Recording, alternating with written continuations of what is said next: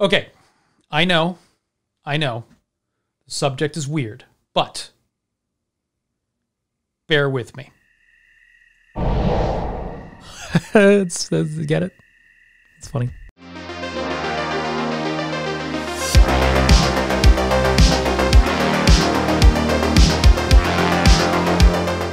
So back in the days of playing Diablo 2, there was a character class called the Druid that was my first exposure to the concept of the werebear. I figured it was a fun idea and it was an offshoot of the werewolf that was like a game balancing thing that didn't have much basis in any actual lore. But then it also showed up in Lord of the Rings and a few other things here and there. But where was the inspiration for these ideas? So I found that a version of the werebear actually shows up in multiple cultures, including heathenry. In fact, the term berserker seems to be rooted in bear magic, suggesting that these warriors had some association with the bear. They show up in multiple legends and are always regarded as very powerful warriors, though not quite werebears. Procopius, a Roman historian during the rule of Justinian in the 6th century, describes ferocious pagan mercenaries from the Danish islands going into battle wearing nothing but shields and thick jackets, which is similar to descriptions of berserkers in later legends. But these, these men were likely part of a bear cult of sorts, fanatical warriors who might have channeled the land spirit or landvættir of the bear. There is, however, another story about a man who could become a bear. This particular story comes from the saga of Hrolf Kraki, a king who was known for having a great retinue of champions. The greatest and most loyal warrior among them was a giant of a man named Bodvar Bjarki, who would lift a berserker in full armor off the ground with one arm and then slam him into the stone floor with such a force that the berserker just lay there. Bodvar's parentage is described in this saga as being rather peculiar. This is the story of a man named Bjorn, uh, which means bear, a name that's commonly adopted by heathens today after their conversion. Bjorn was a prince in Norse legend of a kingdom in the far north of Norway. The king, his father, had remarried after the queen, Bjorn's mother, had died. He married a woman named Hvit, but Hvit was very young, and the king very old. And the marriage. it didn't go well.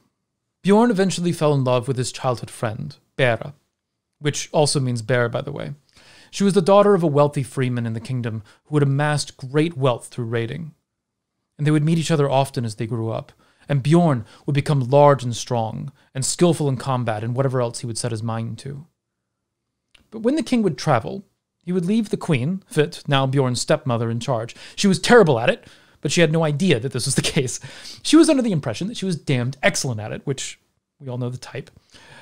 The queen suggested to the king that the next time that he went out raiding, Bjorn should rule with her.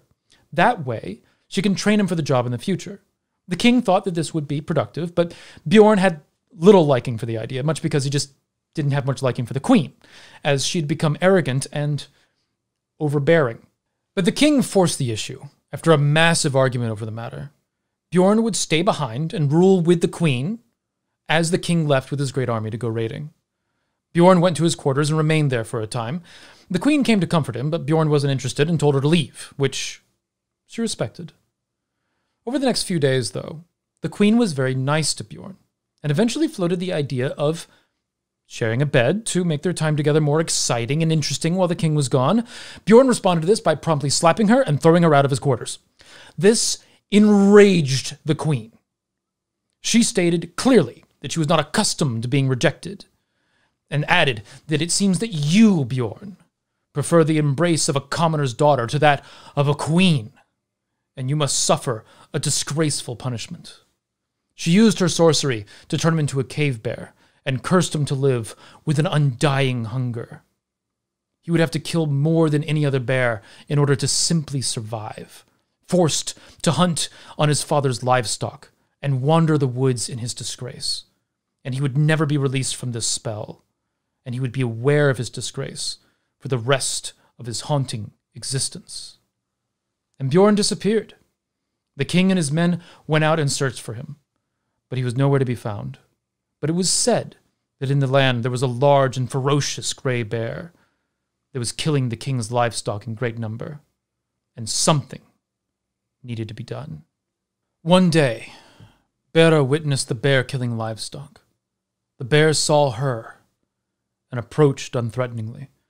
She was frozen in fear as the animal dwarfed her in size, but as it approached, she thought she could recognize Bjorn's eyes in the bear. Once she had collected herself, she did not run away. The beast turned away from her and walked into the forest. And Bera could not help but follow through the woods until night fell and she reached a great cave. She cautiously entered the cave and found a man who greeted her. She recognized Bjorn and ran to him to embrace him. And for a time, they stayed together until Bjorn told her that it was not right for them to stay together. The curse was unbreakable, and he would be a beast by day, even if he became a man again at night.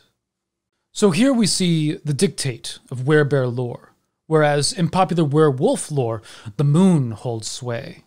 But in werebear lore, the sun is what holds sway.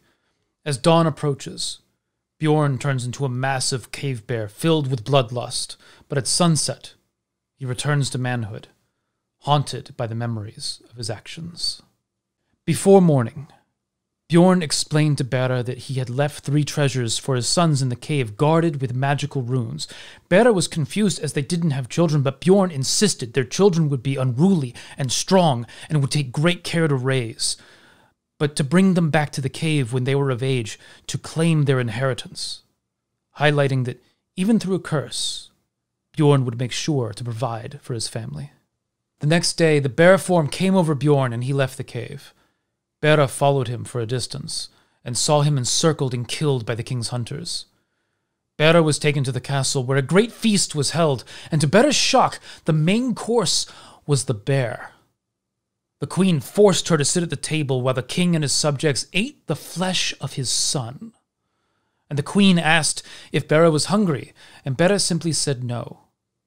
The queen accused her of rudeness and cut off a piece of the meat and forced her to eat two bites of the bear meat before Bera ran from the hall, and the queen just laughed.